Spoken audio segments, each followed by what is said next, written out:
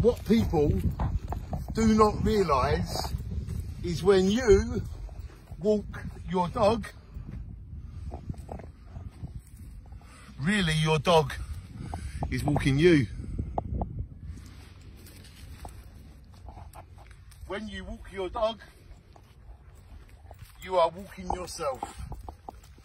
And you need to keep walking and keep fit. So dog walking could be called dog walking the owner. Try it on.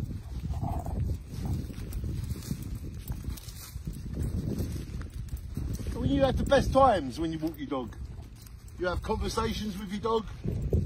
Your dog just goes, yeah, yeah, and it's fun. So keep fit. Remember, when you're walking your dog, really your dog's walking you. Try on.